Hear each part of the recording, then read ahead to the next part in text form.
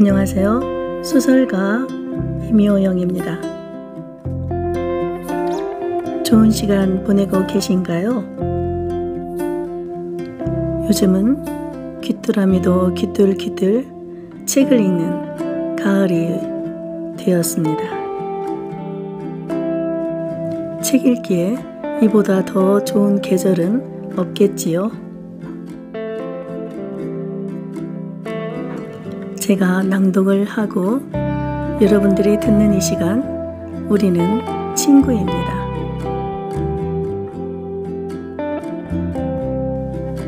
토지를 기다려주시고 사랑해주시는 구독자 여러분께 진심으로 감사드리며 토지 8회 시작하겠습니다.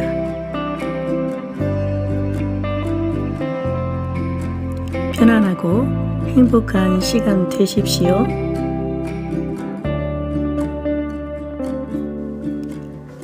조급한 농가에서는 만학들 아이들이 들판을 쏘다니며 벌써 쇠어버린 비름을 뜯고 나물밥, 시래기죽을 쏘았다. 찌뿌리를 캐어다 칡가루를 만들어 저장하기도 했다. 아따 방좀 그만 떨어라. 들어오는 복도 나가겠다. 해물 도부꾼에게 미역을 바꾸었다가 물으려고 쫓아나온 봉기에게 두만아비 이평이가 타박을 주는 것이다. 그런 소리 마라. 숙년 들면 네가 내 미기 살릴 것까? 그러면 애시당초 바꾸지나 말 일이지. 내가 바꿨나? 제 집년이 하늘 쳐다보지도 않고 곡식을 퍼줬으니 복동할 일 아니가? 공기는 미역단을 들고 도부꾼을 부르며 헐레벌떡 뒷길로 쫓아간다. 저놈의 자서 미역 한 꼭지 빼놓고 나와 실기다. 내 곡식 내놓으라고 지랄병을 할기니 도부꾼이 학을 떼었구나. 논의 물을 품으면서 이병이 중얼거렸다. 언덕 아래 늪지에서는 젊은 축들이 둘씩둘씩 나뉘어 흙탕물을 논고랑에 퍼올리고 있었다. 이들은 일에 힘을 쓰면서 입으로도 또한 기운을 발산하고 있었다.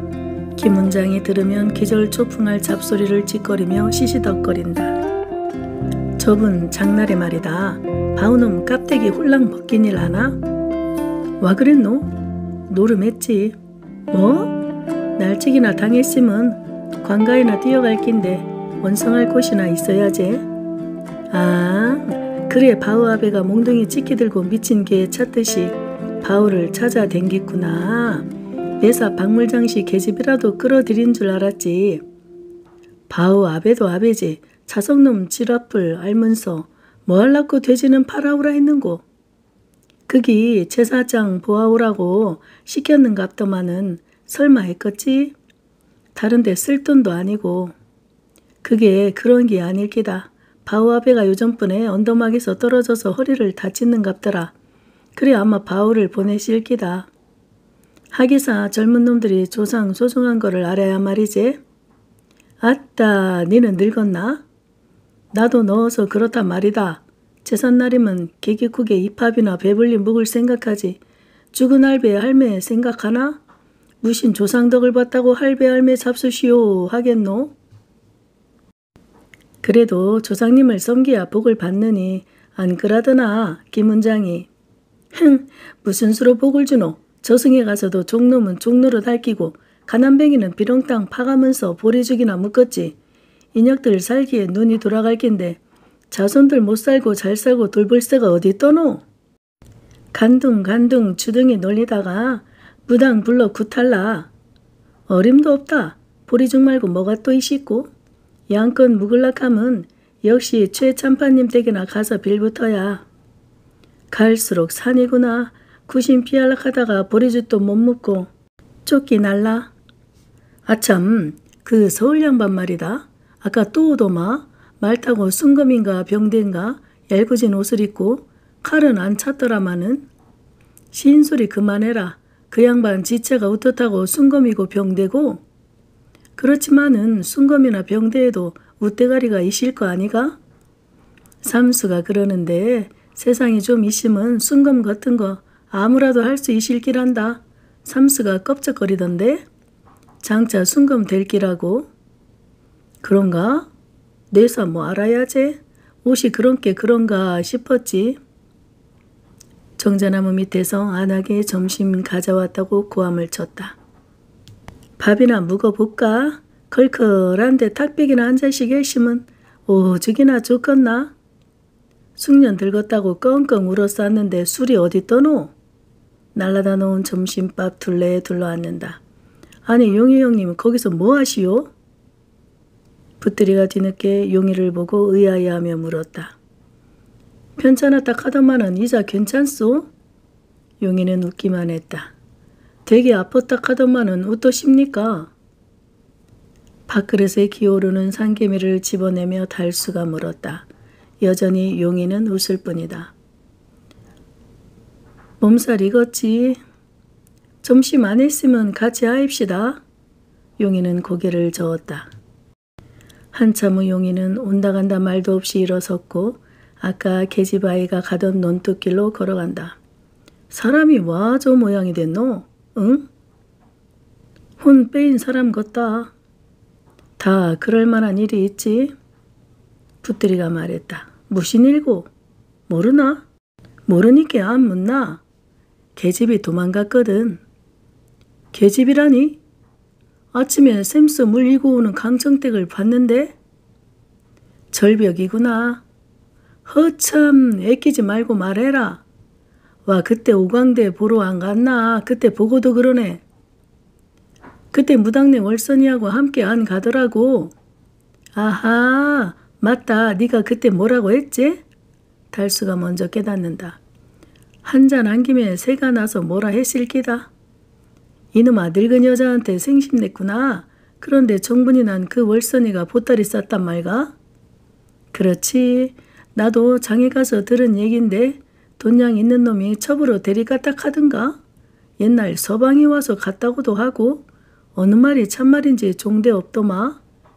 오면서 눈여겨봤더만은 가게는 철장하고 그래서 이 서방이 병이 났구나. 무당 딸을 건드리서 혼을 빼갔는지 모르지. 그러기 못생긴 따줄이 입안에 밥알을 튀기며 성급히 말했다. 그 그러기 제 아무리 인물 좋고 풍신 좋아도 소용없다. 돈이면 사나하는 허수애비다. 돈만 있어 보제. 아무리 뱅신이라도 계집이란 뜻대로 되는 기라. 흥, 그러니까 계집 전신 못하는 거는 네 얼굴이 문딩이 같아서 그런 게 아니고 돈이 없어 그렇다 그 말이구나. 말인지 그렇다 그 말 아니가? 제 참판내 며느리 보니께 그렇지도 않더마. 따주리는 공연히 화를 낸다. 용이는 제 참판댁을 향해 휘적휘적 올라가고 있었다. 팽나무 그늘 밑을 지나 행랑 뒤곁으로 돌아간다. 한참 후 삼수가 마구간의 말죽을 날아가는 모습이 눈에 띄었다. 도리는 일 나갔나? 사랑 뒤뜰에 가 있을기요. 삼수는 달갑지 않게 대꾸했다. 용이는 행랑 뒷마루에 걸터앉는다. 여기 와본 것도 오래되었다. 변한 것은 아무것도 없었다. 어린 시절 대부분을 이 행랑들에서 놀았던 일이 생각났다. 노상 치수에게 두드려 맞았었다. 엄마, 내가 심이 더 센데 와 밤낮 얻어 맞아야 하노? 모치는 잠시 용이를 바라보았다. 심이 세니께 억울할 것 없다. 나도 때릴란다. 도련님이 몸이 약하니께 네가 참아야지. 샘찬 성에 참더라고. 니는 심이 세니께. 그러면 뭐 심만 세면 밤낮 맞아야 하나? 그러니께 니보다 심센 놈을 만나거든 그때는 지지 말고 때려주라모. 심센 놈이 그러면 나같이 맞아줄 기가? 어진 마음이면 안 어지면 난또 맞아야 하게? 나쁜 놈 되는 것보다 어진 사람이 돼야지. 그러면 그러면 그래도 엄마 심이 세도 맞고 심이 없이도 맞고 맞고만 살락하나? 말문이 막혔던지 못 치는 말이 없었다. 상놈이 어찌 양반을 때릴 것고 그 말을 듣고 용이는 울었다. 빙 둘려진 돌담과 겹겹이 솟은 기와지붕 쇠참판대 행랑 툇마루에서 올려다 보이는 하늘은 좁았다. 와 그리 넋을 놓고 앉아있소. 도리한테 할 말이 있소? 삼수가 물었다. 할 말이 있으면 도리 불러올까요? 불러올 것도 없다. 사랑이 있다겠나? 야, 거기서 뭐하노? 마당에 불을 뽑을 끼요. 길상이는 뭐하고? 길상이는 읍내 문 약국한테 심부름 갔소. 와, 누가 아파서? 갓난 알매가 어젯밤에 토하고 해서 약 지으러 갔소. 개글스럽게 음석을 먹더만은. 용이는 일어섰다. 그는 윤씨 부인과 마주칠 것을 두려워하며 까대기 옆을 지나간다. 평상 위에 서희가 그림같이 잠들어 있었다. 봉순이도 모로 누워 그러니까 저쪽으로 얼굴을 돌려놓고 함께 잠들어 있었다. 서희는 반듯하게 얼굴만 이쪽으로 조금 기울어져 있었다. 어미 자식 어미 안 닮고 네 닮겠느냐고 흔히들 하는 말같이 잠든 서희 모습에서 용이는 아름다운 별당아씨 얼굴을 보는 것 같았다. 먼 빛으로 두 서너 번 보았을 뿐인 여인의 모습에서 다시 잠든 서희의 얼굴로 서희에게서 다시 먼 강 아래서 물들어오는 놀과 추억이 30을 넘은 용이를 옛날로 어린 시절로 이끌고 가는 것이었다. 용이에게는 서분이라는 누이가 있었다. 세 살 위였던 서분이는 11살이던 그의 여름 천연두로 죽었다. 예쁜 계집아이였다. 비가 옥수로 쏟아지던 밤이었다. 장마철로 접어들면서 마을 사람들은 연일 강둑에 나가서 무너진 둑을 쌓고 허술한 곳을 메우곤 했었지만 마을 사람들은 잠들지 못했다. 용인의 집에서도 그의 모친과 부친이 마루에 나앉아 비를 바라보고 있었다. 천연두를 찌르고 난 뒤 회복기에 들었던 용이도 잠이 깨어 모친의 치맛자락을 꼭 쥐면서 송곳날 같은 굵은 빗줄기를 바라보고 있었다. 마루 살강 밑에 걸어둔 초롱이 휘뿌옇게 빗줄기를 비춰주고 있었다. 그때 방문을 화닥당 열고 서분이가 마루에 뛰쳐나오며 울부짖었다. 용이는 떡 해주고 노물 해주고 폭밭 해줌써. 오만 것 다 해줌써. 나는 와 아무것도 안 해주요. 구슬이 돋아서 흉하게 된 얼굴을 서분이는 손톱으로 잡아뜯었다. 아 아가 모친이 놀라서 펄쩍 뛰었다. 용이의 천연들을 받아 앓던 서분이는 구슬이 잘 돋아서 부모들은 한시름 놓기도 했으나 둑을 쌓는 부역 때문에 서분에게는 등한히 했던 것이다. 한편 딸 자식이어서 그랬던 것은 아니나 용이가 치르고 난 뒤였기에 음식을 차려 비손을 하지 않았다. 용이는 떡 해주고 노물 해주고 오만 것 다 해줌써. 아이고 큰일 났네. 바람 쐬면 안 될 낀데 아가 들어가자. 모친이 안아드리려고 했으나 서분이는 발버둥치며 울부짖고 얼굴을 잡아뜯었다. 웃자건노 계집 자식이 얼굴 다 망치겠네. 잠자코 있던 부치는 급히 얼굴을 씻고 의관을 갖추었다. 그리고 울부짖는 서분이 앞에 무릎을 꿇었다. 손님네 인간이 미련하고 불면해서 저질러십니다. 노음 거두시고 한 분만 살펴주시이소. 새는 날에는 대시로 앉혀 떡하고 밥하고 걸게해서 손님네 대접하고십니다. 돌아가실 적에는 마부 부려서 노자 짜고 인간이 무엇을 합니까? 손님네 어쩌든지 열한 살 먹은 이씨 방성 일월같이 살피셔서 곱게 앉히 주시소. 머리를 조아리며 빌었으나 서분이는 이튿날 해질 무렵 죽었다. 그때 지수의 나이 열살이었다. 그 일이 있은 후 용이는 지수가 때려도 엄마가 다 이른 대로 그를 미워하지 않으리라 생각했다. 그러나 지수는 용이를 때리지 않았다. 대신 월선이를 미워하기 시작했다. 못났다고 흉을 보았고 울보라고 놀려대었다. 도리는 사랑의 돌담 옆에 엎드려 뿔을 뽑고 있었다. 이자 괜찮소? 그럴만하네. 그래도 얼굴이 많이 생기십니다. 볕을 안 보니께 무슨 일로 오시소? 자네 술이나 사줄까 싶어서 나 때문에 유혹 안 보았나? 뭐를요? 대낮인데 무슨 술을 먹것입니까? 둘이는 마루 쪽을 힐끔 돌아본다. 비스듬히 떨어져 있어 마루에 앉은 사람의 모습은 보이지 않았으나 이야기 소리는 들려왔다. 병신 같은 놈들 열흘 동안이나 헤매다가 그냥 돌아오지 않았겠소? 못 찾았다 그 말인가? 하기는 거처가 일정치 않다면 그럴 수도 있겠지. 몸 만난 게 아니지요. 만났으니 그러지 않소. 코를 끼어서라도 데리고 와야 할 게 아니오? 말이 그렇지 이 사람아 산 사람을 어찌 쿨을 끼어서 데려오누? 지수와 준구의 얘기소리였다. 둘이 싱긋이 웃었다. 이분의 말입니다. 강포수 찾으러 가는 김평산이 그 양반을 따라서 삼수가 지리산에 안 가십니까? 아무한테도 말하지 마이소. 삼수 그놈의 자석 재미 톡톡히 보았다 갑디다. 매혹한 거맹구로 매꾸롬해가지고 돌아왔소. 하기사 평산인가 노름쟁인가 그 사람이 삼수 입을 막으려고 그랬겠지만은 강포수를 만나기는 만났다 갑딤다마는 열흘을 놀고 돌아댕겼다요. 그것도 우찌 논줄 아시겠소? 둘이 눈이 선망에 흔들리었다. 그는 일어서서 용의 귀에다 입을 대었다. 평산이 그 노름꾼이 각시를 사주더랍니다. 각시를 아무한테도 말 마이소. 민망해하며 용이는 눈을 꿈뻑꿈뻑 했으나 둘이는 천진스럽게 싱글벙글 웃는다. 그것뿐인 줄 아요? 노름도 했다합디다.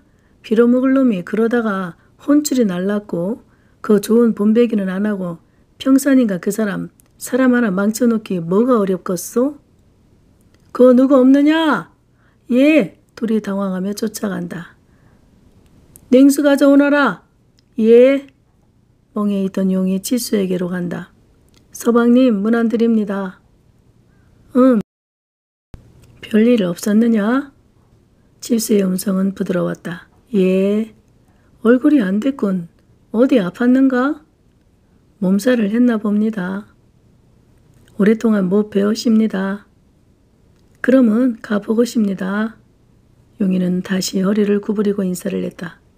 누군가? 용이 나간 뒤 중구가 물었다. 마을의 농사꾼이요. 농사꾼 치고는 잘생겼구먼. 함께 자랐지요. 지 어미가 드난꾼으로 늘 드나들었는데 조상은 상놈이 아니었던 모양이지요. 하고는 중구를 비웃듯이 씩 웃는다. 사람이 존엄하다는 것을 용이놈은 잘 알고 있지요. 그놈이 글을 배웠더라면 시인이 되었을 게고 말을 타고 장을 들었으면 앞장섰을 게고 부모 묘소에 벌초할 때마다 머리카락에까지 울음이 맺히고 여인을 보석으로 생각하는 그렇지요. 복 많은 이 땅의 농부요. 말을 마치고 치수는 끼들끼들 웃었다. 중근은 웃을 것이 조금도 없는데 건성으로 따라웃다가 자신이 놀림을 당하고 있다는 것을 깨닫는다. 내가 어째서 이놈 앞에서는 늘 병신이 되는고? 그래 그 강포순가 하는 위인 말인데 꼭 데려야 한다 그 말인가? 중근은 말을 돌렸다. 어떻거든 끌고 와야겠소. 언제쯤 산을 다녀왔나?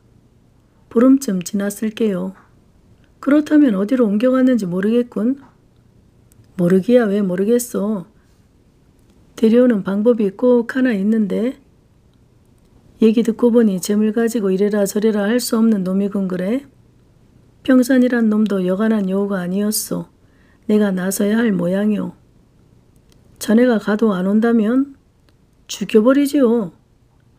치수는 눈도 깜짝하지 않고 말했다. 허허 실없는 소리. 내가 가지. 총 한 자루면 돼. 그는 평생이 사냥에 미친 거라면. 총을 가져가서 구경만 시켜도 지남철에 붙어오는 쇠붙이 꼴이 된다 그 말이네. 포수에게는 총이 생명 아닌가.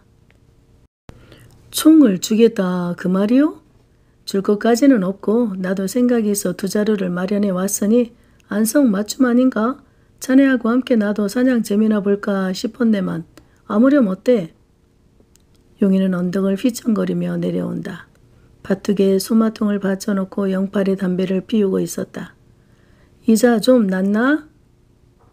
비가 와야 할 낀데. 용아, 우리 집에서 며칠 전에 진주를 다녀왔는데 지 동생이 장계 간다고 해서 갔다 왔다. 거기서 윤보 형님을 만났더란다. 윤보 형님을? 응, 그랬는데 윤보 형님이 말하기를 월선이를 보았다 카더라네. 용이 얼굴에 경련이 인다. 늙은 남자하고 다른 아낙 한 사람하고 월선이 함께 가더란다.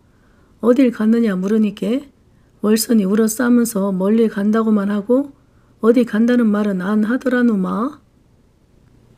다 인연이 없어 그런 건데 니도 인자 맘 잡아서 살아야지 어쩔 것고 멀리 간다니께 돌아올 사람이 아니다.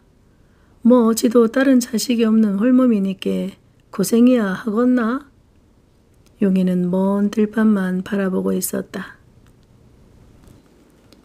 세월이 세월인 만큼 잘만 하면 권력의 줄을 댈수 있고 돈방석에 앉을 수도 있다는 소문의 자리인 만큼 개와 바람을 타고 한자리 해볼 심산인 조중구가 과연 그것을 창피하게 생각했었는지 지난 늦봄 그가 이곳으로 내려오던 날 그네들 역관으로 계시면서 그것도 모르시오?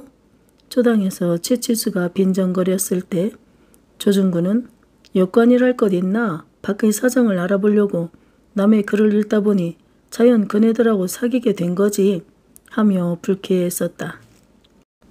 그러나 문벌에 대한 존경만은 잃지 않고 있던 김은장에게 역관이라는 말 탓으로 조준구는 괄시를 받았다. 서울서 총을 구해온 후 무료하여 김은장을 찾아갔었던 것이다.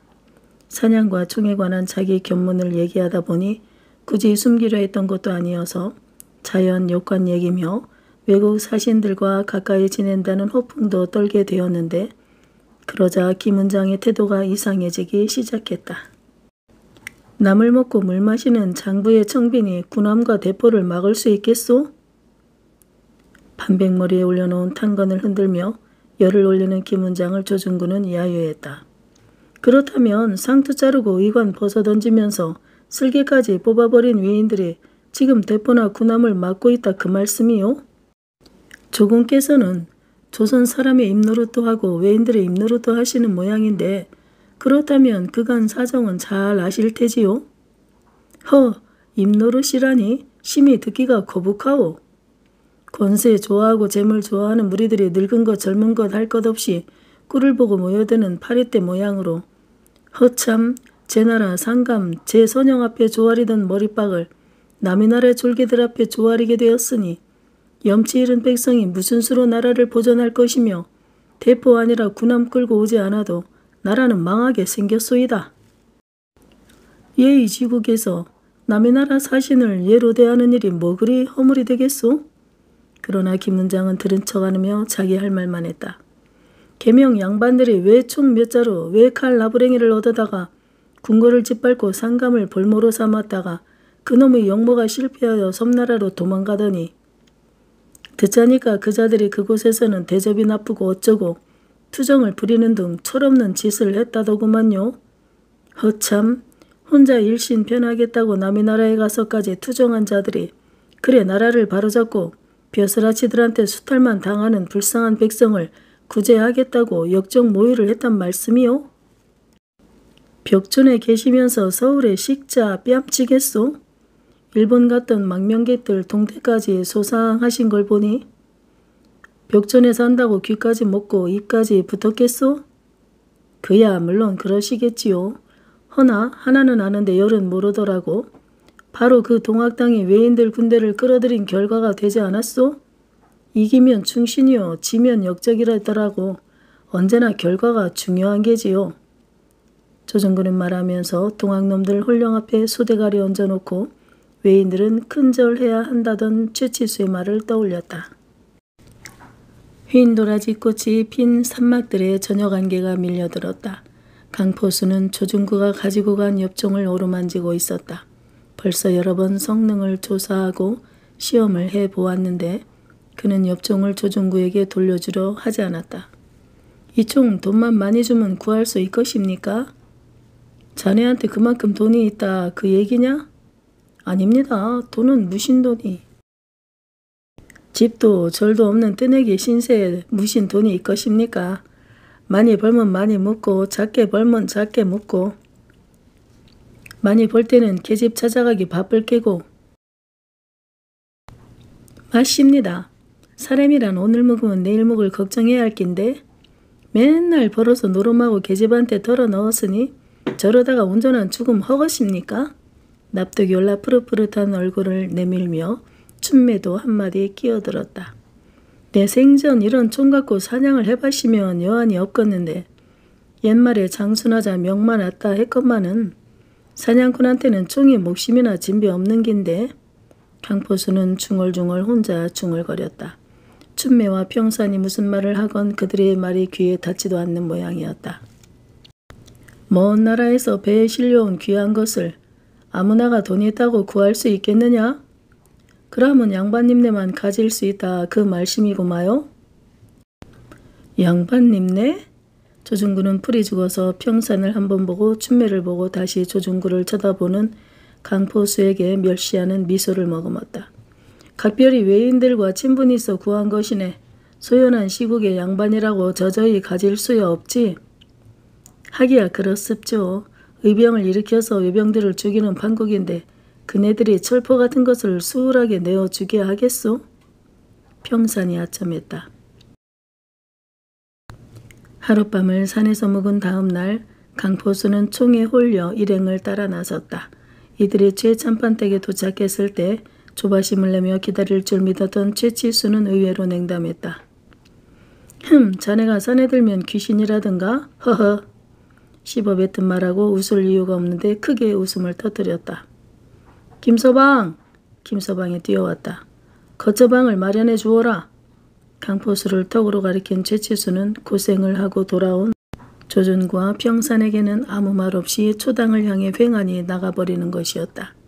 행랑방 한 칸을 정해 주어서 거처하게 된 강포수는 보기에도 딱하게 우리 속에 갇힌 산 짐승 꼴이 되었다.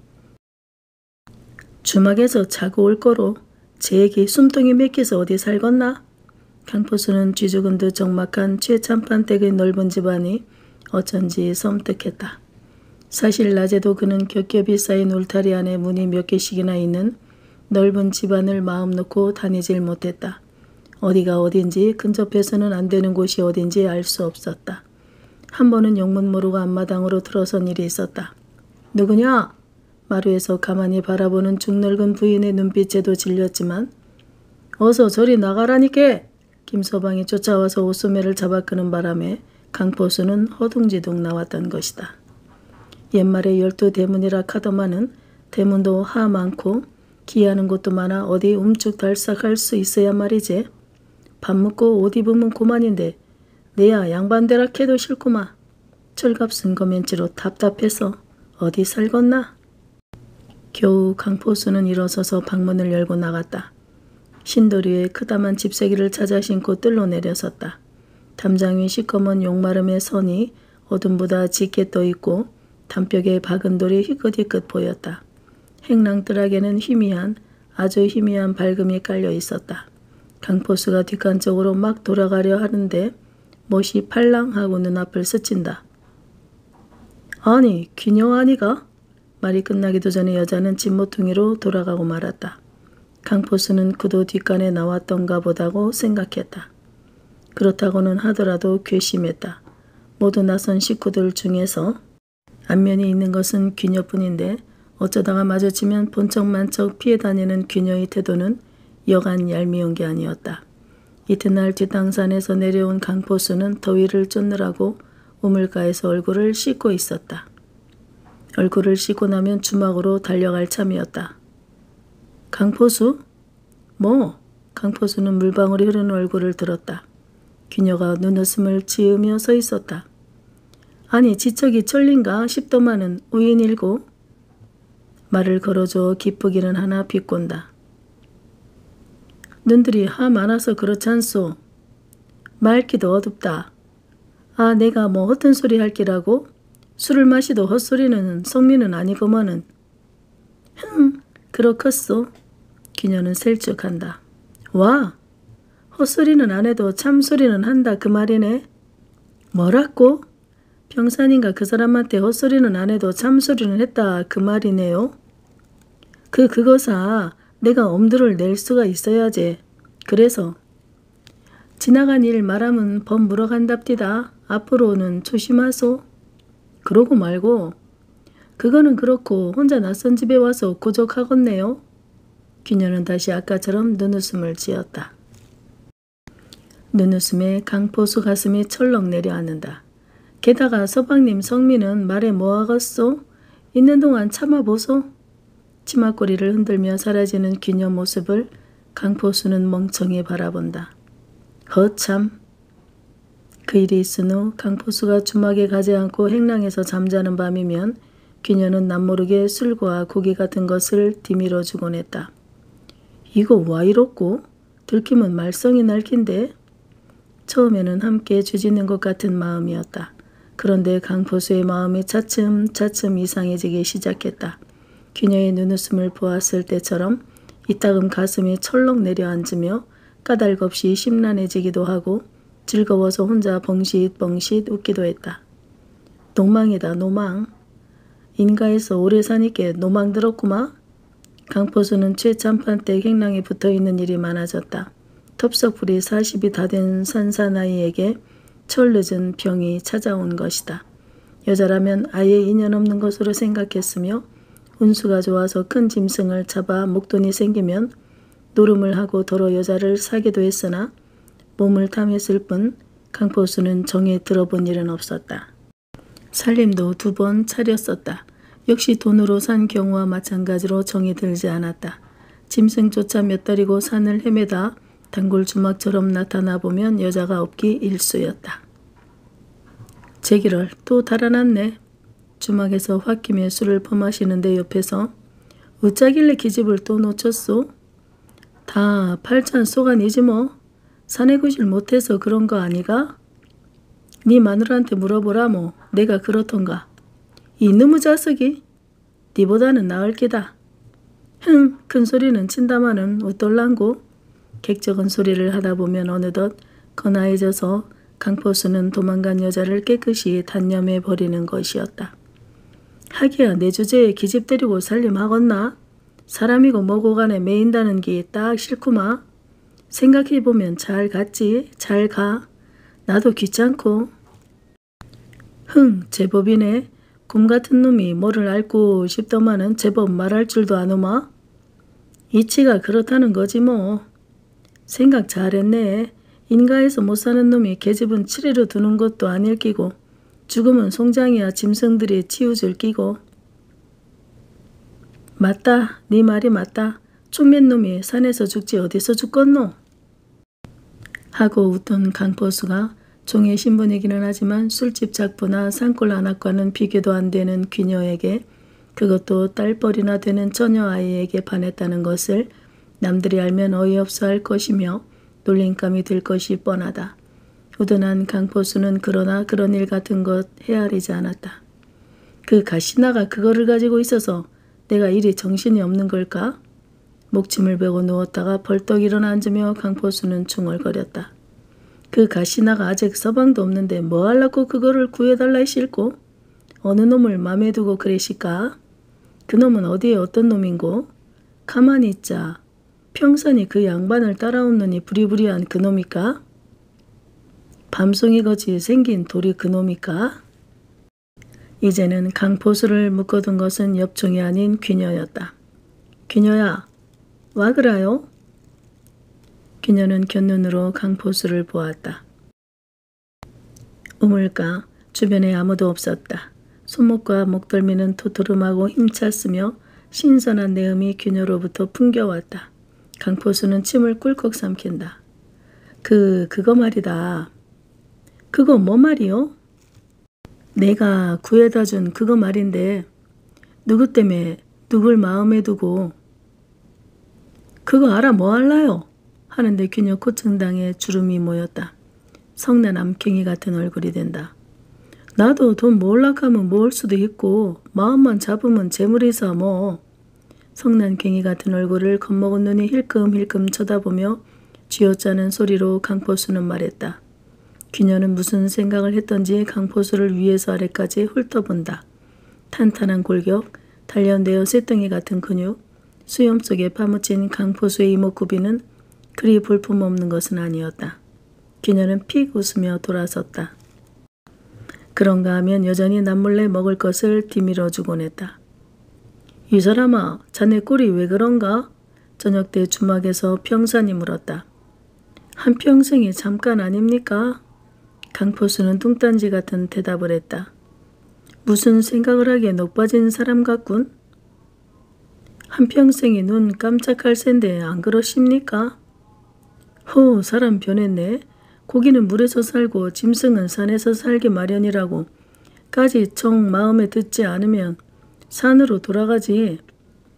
울가면 몸도 아닌데. 아닙니다. 이 이자는 낯이 익어서 뭐 산 생각도 안 나누만요.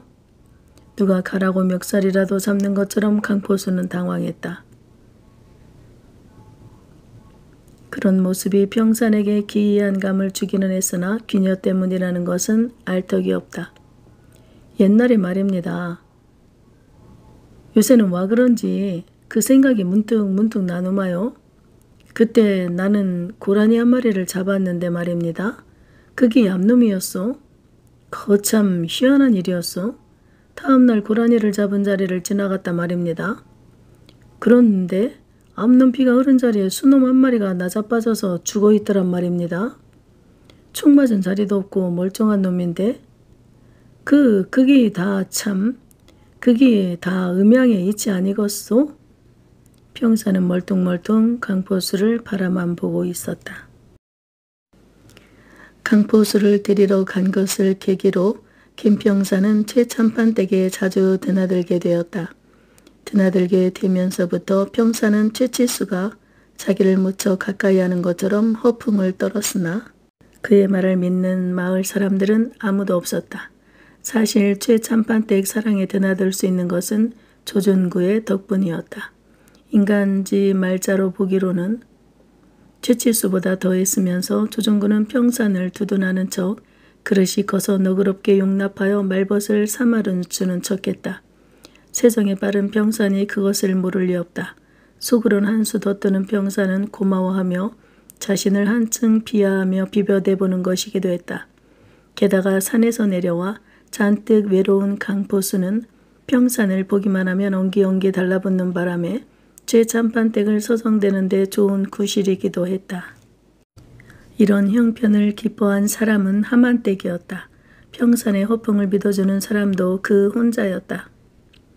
술집을 큰 집 드나들 듯이 하면서 달아진 엽전 한 입 내어주는 남편은 아니었지만 서울 양반과 어울려 다니는 그것만으로도 고마워서 하만댁은 더욱 뼈골이 빠지게 길쌈을 하고 들리를 하고 삭 바느질을 하고 그러는 한편 남편에게는 땀내 나지 않은 입성을 때묻지 않은 버선을 하며 마음을 썼다.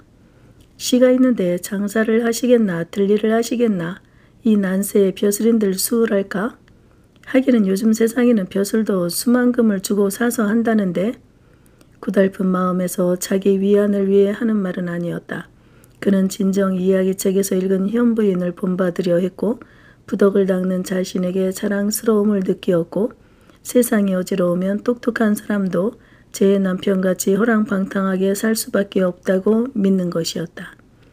용이 구름을 못 만나면 등천을 못하는 법이지 그분도 한이 왜 없겠나 그러니 노상 울분에 차서 술을 마시고 손 장난도 하시고 왕손도 세상을 잘못 만나면 나무꾼이 된다는데 하만댁이 등잔 밑에서 흐려지는 눈을 비벼대며 버선볼을 대고 있을 때 안방에 들어 누워있던 평산이 일어나 앉으며 늘어지게 기지개를 켜고 앞가슴을 긁적긁적 긁는다. 설설 나가볼까? 평산은 밖으로 나왔다. 초저녁은 지난 것 같다. 그는 밭토끼를 지나 물방앗간 쪽으로 간다.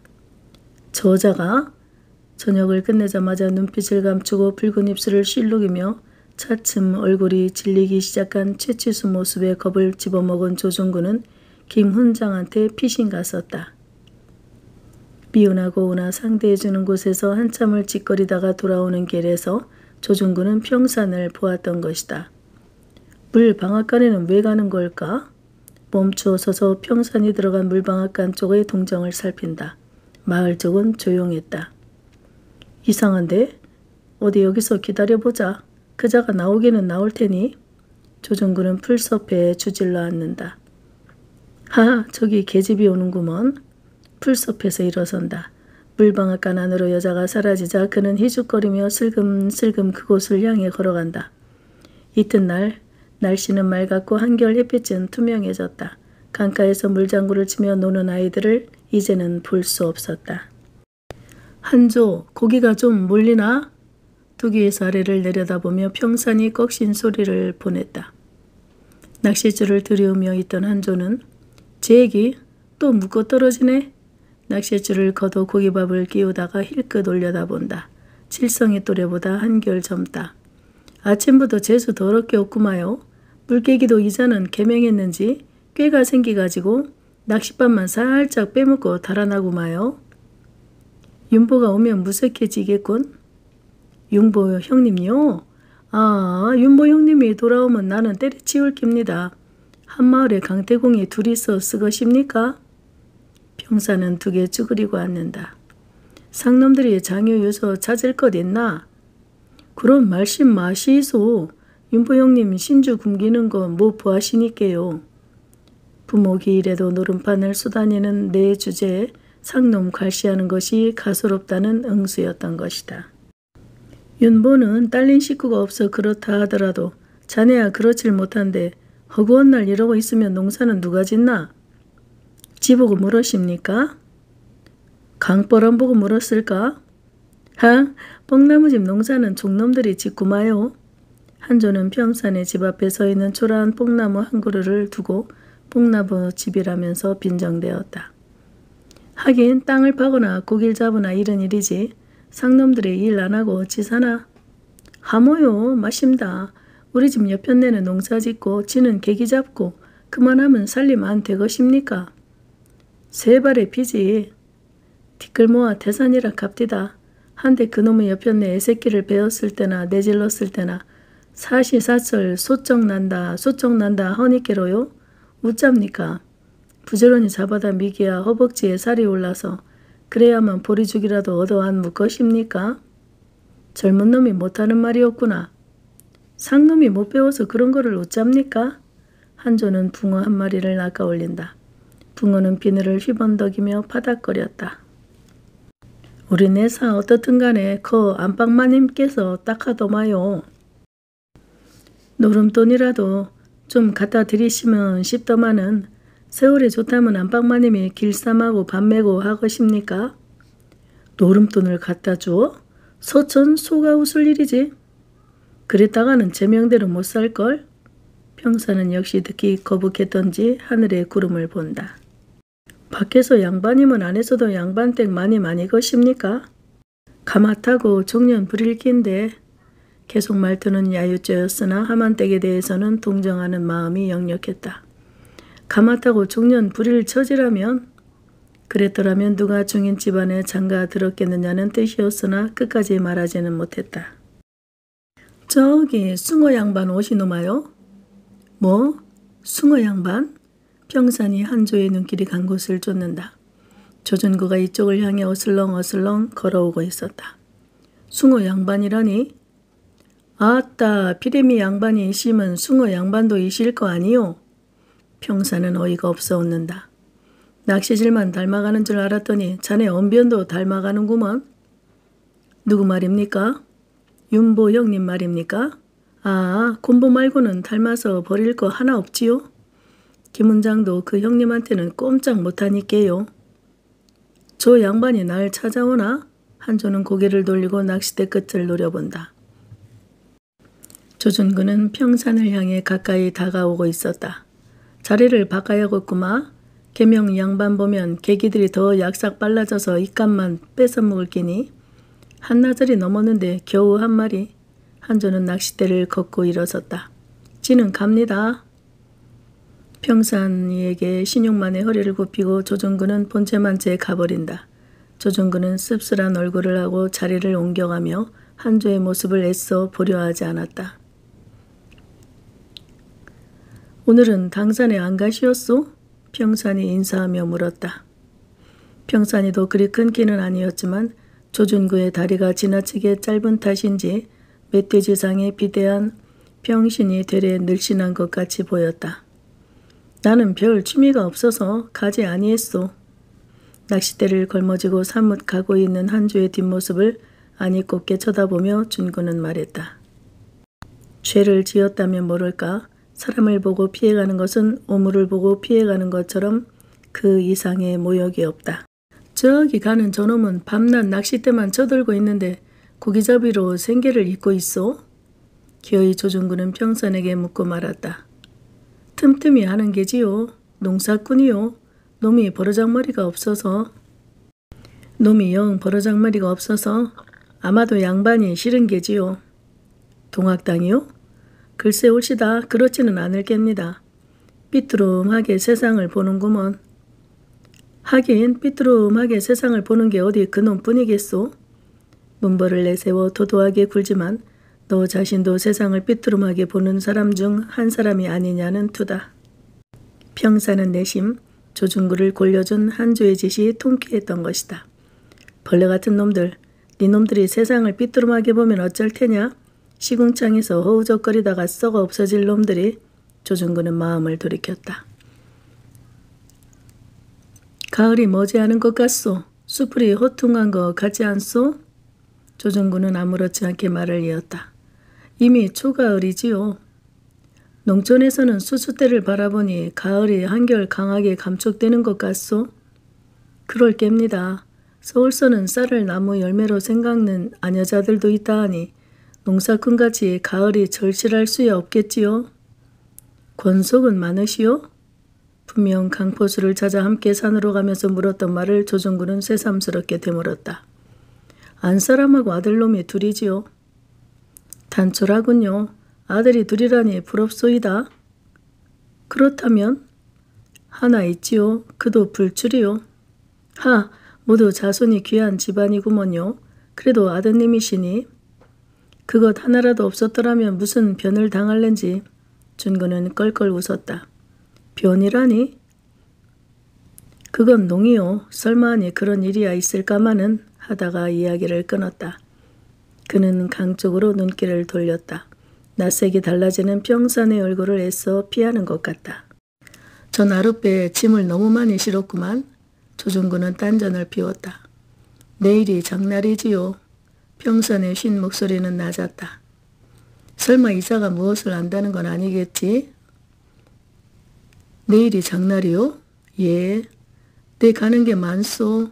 사들이는 게 많소. 알겠지요. 가을철이면 자연 내 가는 것 들여오는 것 다 많아지지 않겠소? 농촌이니. 태어냈으나 평선의 눈알은 심히 흔들려 초점을 잡지 못하고 있었다. 옛날 어느 곳에서 있었던 얘기라더군요. 이야기인즉 독자인데 늦게까지 자손을 못 보았던 모양이요. 자연 부모는 첩투기를 권했고 실상은 그 당자한테 씨가 없었으니 자식을 바란들 허사건을 그걸 당사자도 몰랐었다 그 말씀이요? 평사는 애써 조중구 이야기 장단을 맞추었다. 왜 몰랐겠소? 산에 오기도 있고 그래 첩을 두게 되었는데 그 계집이 요사하고 간악했던 모양이오. 흔히 그렇지요. 살림은 탐이 나고 이미 딴 사내를 보고 난 계집은 본댁과 달라 사내한테서 자손 바라기 어려움을 깨달은 모양이오. 하, 결국 다른 사내를 보아 애를 뵌 계집은 남편을 살해했지요. 초론, 흔히 있는 얘길게요. 아, 그래, 그러고도 천벌을 받지 않고 무사했더란 말씀이요? 죽은 자는 말이 없는 법이요. 지나치게 조상을 숭배하기 때문에 생기는 범죄지요. 무한 것을 대죄라 생각하는 풍습도 달라져야 할 게고 산 사람보다 죽은 사람, 귀신이 더 판을 치는 그따위 풍습도 없어지지 않고는 성악하는 사람들을 학살한 것도 따지고 보면 사당을 없이 했다는 데 원인이 있고 나라 자체가 그따위 고루한 것에 사로잡혀 있었으니 뭐가 되겠소? 조정근은 평소 즐겨하는 식으로 시국 얘기며 나라 형편을 지리하게 논하는 것이었으나 그것은 거의 건성인 듯 싶었다. 평사는 긴장한 눈초리로 준구의 인매를 지켜보고 있었다. 겉으로는 상대편 말을 경청하고 있는 것 같았으나 조준구의 심정을 헤아려 보려고 평사는 신경에 날을 세우고 사방에다 촉수를 펴며 더듬는 것이었다. 이자가 냄새를 맡고 하는 얘기일까? 우연히 한 말일까? 냄새를 맡았다면 그렇게 하라는 뜻인가? 그럴 리 없지. 남의 심중을 알 통이 있나? 일을 저지른 것도 아니고. 음, 결국 다른 사내를 보아 애를 뵌 계집은 남편을 살해했다고? 죽은 자는 말이 없는 법이라고? 백성들의 눈을 떠야 어리석은 자들, 무당이 판을 치고 개인 문제에 불과한 선영 봉사를 조정해서 왈가왈부하고 있으니 얼마나 시간이 지났을까 당산에 가보시지 않으려오? 처음으로 중구는 평선의 눈을 쳐다보았다. 그렇걸까요? 두 사나이는 천천히 돌아서서 걸음을 옮긴다. 그리고 며칠이 지났는데 조정구는 부랴부랴 서울로 떠나버렸다. 입을 오므렸다 내밀었다 하며 칠성이 망가진 걸음 삼태기를 삼끈으로 엮고 있다. 잘려나간 손가락이 뭉툭한 손가락에 징그럽게 숨바꼭질을 한다. 아이는 마루를 기어다니며 배가 고파 울부짖는다. 보리방아를 찢던 이민애는 겨우 절국공이를 내려놓고 찌은 보리를 이리저리 주걱으로 모아들인다. 빌어먹을 놈의 새끼 배도 안 고플 낀데 저 지랄을 하네. 이름 많고 새끼한테 뜯기고 정말 못 살겠네. 누가 많이 내질리라 카더나. 칠성이 씩툭 한마디 했다. 나 혼자 맨든 자식이요? 아이는 꺼이꺼이 가쁜 숨을 쉬며 젖을 넘긴다. 저 그거 아랫담에 두만네 눈 말이요. 칠성이는 못 들은 척한다. 어찌나 잘 됐던지 나락이 익으면 모가지가 부러지고 싶디다. 몸만 꽂아놓고 당산에 가서 누워있어도 그 눈이야 절로 추수하게 돼 있는 상답 아니가? 흥! 그러게 하는 말 아니오. 두만네는 복이 터졌소. 후박이 절로 굴러왔지. 우리한테도 갓난 할매 같은 친척이나 하나 있었으면 어느 세월에 내 땅 한 분 가지볼고 사람의 발전 누가 하노? 천지 계백이나 있으면 모를까? 만판에야 요놈의 요꾸라지 면할 날이 있겠소? 사람의 발자는 모르는 기라 하모 모르고 말고 바람 한 번 잘 불면 나도 장차 접 두 서너씩 거느릴 신사가 될지 그거는 아무도 모르는 일이구마. 낫으로 삼끈을 자르며 혼자 씩 웃는다. 두 손은 아니라 열 첩을 거느린다 해도 내사 이반분 안 떼겠소. 제발 한 번 잘 살아보기나 해심은 얼마나 좋을꼬. 죽은 난개에 꽃피기를 바라지. 귓밤만 만지고 있어 보라모. 그러나 저러나 요새 갓난 할매가 다 죽게 됐다 하더마요. 두만내가 쫓아댕기 싸터마는 와 안 그랄꼬? 머리털을 뽑아 신도 삼아줄 낀데 늙으면 죽어야지 곡식 한 톨이라도 축낼 것 있나? 쉬 조상 나갔다 하대요. 지난 겨울에 죽었으면 두만내도 논커녕 그놈의 할망구 두만내 살게 해줄라고 보시라 보시라 살았났던가? 흥 그란에도 두만아베는 그 악스러워서 곡식 밀려놓고 사는데 시샘이 나서 못 견뎌한다. 아얏! 이미 내는 어린 것에 뺨을 찰싹 친다. 잠이 깜빡깜빡 들려던 어린 것이 젖꼭지를 놓치지 않으려고 물었던 모양이다. 빌어묵을 우는 아이를 냅다 밀어던진다. 자식이고 뭐고 다 귀찮다. 울든지 말든지 배지가 불러시면 쳐 자빠져 자라. 젖꼭지만 물리고 있으면 이런 지리산 중놈이 해줄 것까? 손잠을 깬 아이는 울면서 더욱더 기어오른다. 이런 기 다 애물이지 애물. 아이를 부리치고 뜰에 내려선 이민애는 삽작 밖에 놀고 있는 이미를 불러들인다. 이놈의 가시나야 애기나 봐라. 밥 처먹고 뭐하나? 모두 애물이다 애물이라. 누가 귀찮은 새끼들 주렁주렁 내질러 놓으라 하더나? 자식을 혼자 놨소? 걸음 삼태기를 바지게에 집어던진 칠성이는 지게를 지고 울 밖으로 나간다. 이민에도 절구통에 보리를 걷어 사기에 담아 머리에 이고 나가려다 장독에서 바가지를 짚는다. 이놈의 가시나 얼라 안 보고 마실만 갖다 봐라. 우물가에서 이민애가 보리쌀을 씻고 있는데 두만내가 물동이를 들고 온다. 선이는 어디 가고 성님이 물 지르러 오요? 회가 동했는가 배. 그놈의 제집아 배가 아프다 해서 이 사람아 이 그 아까운 보리뜨물은 와버리노? 우리 집에서 돼지가 없신께 쪼불은 까불어서 겨는 뺐으니께요. 그래도 아깝구나. 두만네 집에는 돼지가 있었다.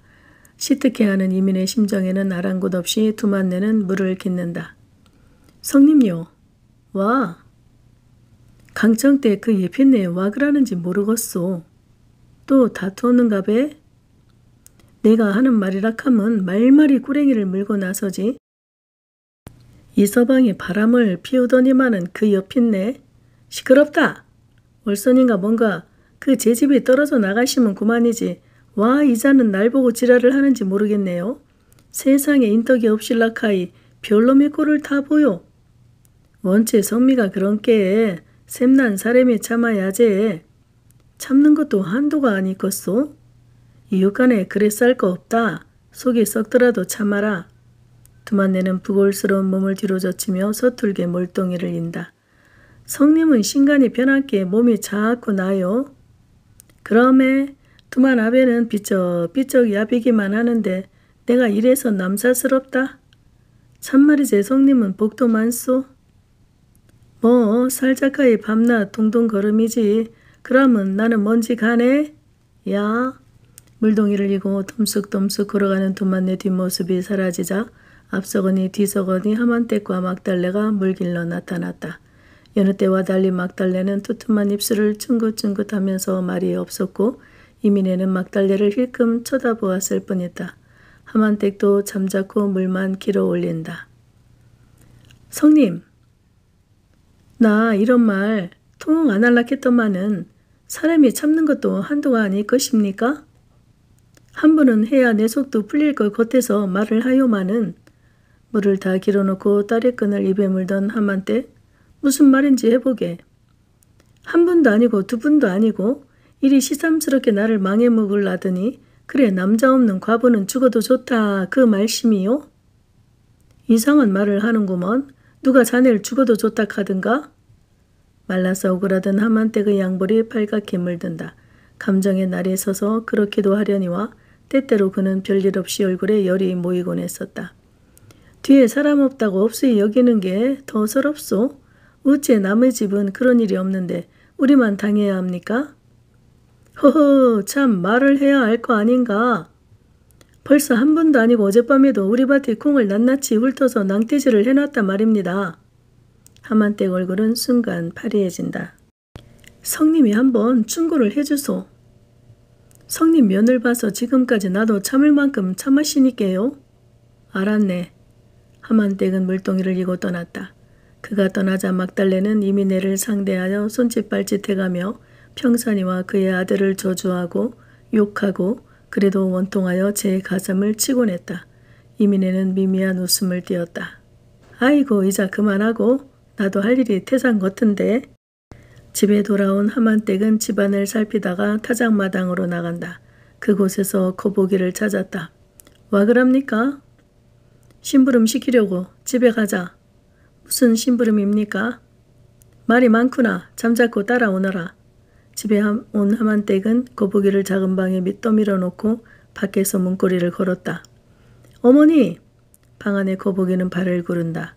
하만댁은 나무단에서 실박한 맥감을 너댓 개나 골라서 꺾어들고 방으로 들어왔다. 이놈, 너 죄를 네가 알지? 어머니, 아무 아무 잘못 없습니다. 맞아야 한다. 그래도 안 나을 병이라면 너하고 나하고 죽는 거다. 자, 옷을 걷고 종아리 내놔라. 어머니, 내가 무슨 짓을 했다고? 막달래 콩밭에 들어가고도 모른다 하겠느냐? 예? 그런 일 없습니다. 제가 하지 않았소. 매가 날았다. 아이고 하만댁은 미친 듯이 아이를 때린다. 거북이는 고함을 지르면서 방문을 헤매었다. 문 열어라. 밖에서 평산의 뇌성이 울렸다. 아 아버지 나 좀 살려주시오. 하만댁은 더욱 세차게 매질을 하였다. 방문이 우지끈 넘어졌다. 거북이는 넘어진 문을 밟고 비호같이 마당으로 뛰어나간다. 마당에 나간 거북이는 뱅뱅이를 돌았다. 그러다가 쓰러지면서 거품을 물고 사지를 파들파들 떨었다. 무슨 짓이냐?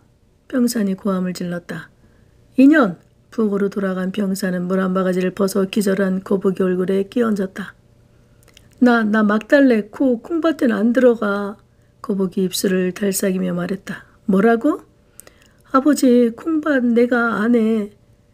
인연 자초지종 말해라.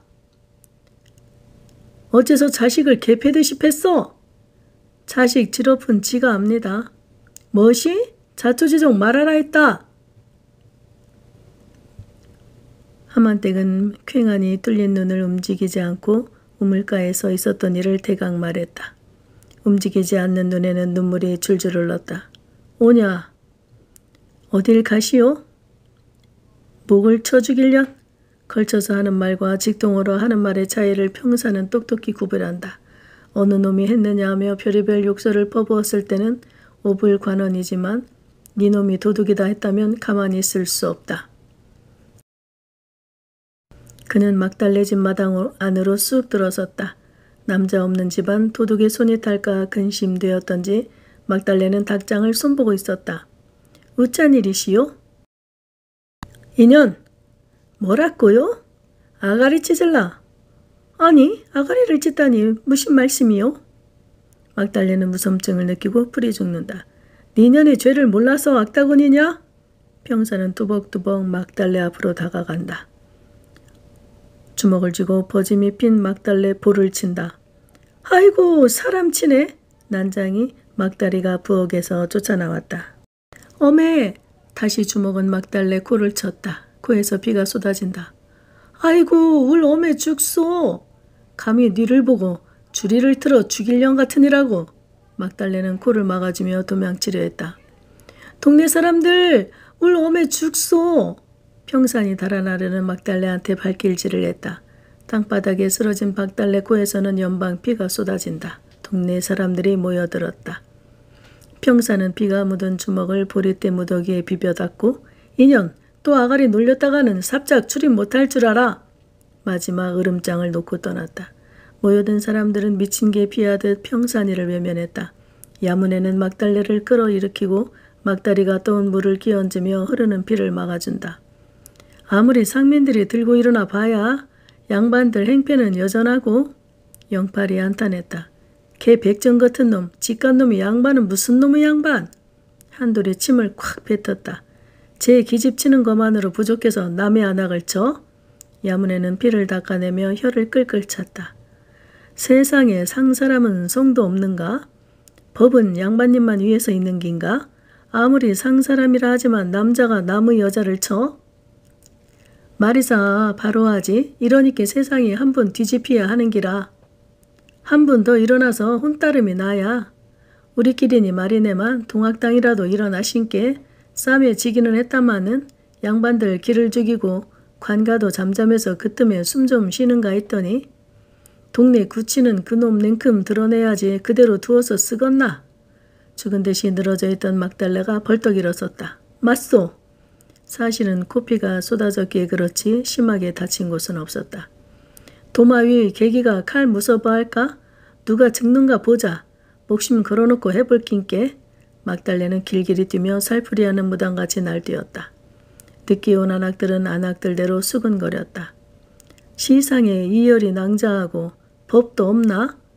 주먹은 가깝고 법은 멀지. 막달레의 기가 상승해 갈수록 도리어 흥분했던 남자들 분위기는 가라앉기 시작했다. 나중에는 주먹을 휘두르고 눈을 까집는 막달레 모습을 보고 웃기까지 했다. 동정이 차츰 없어지는 것을 깨달은 막달레는 아이고 내 신세야 내 팔자야 혼자 된 것도 서름데 이러고 살면 뭐하겠노 이런 천대받고 살면 뭐하겠노 하며 통곡하기에 이르렀다. 이 사건이 있은 후 잠시 술렁거렸으나 이내 바람잔 날의 강물같이 겉으로는 별일 없이 마을은 잠잠해 있었다.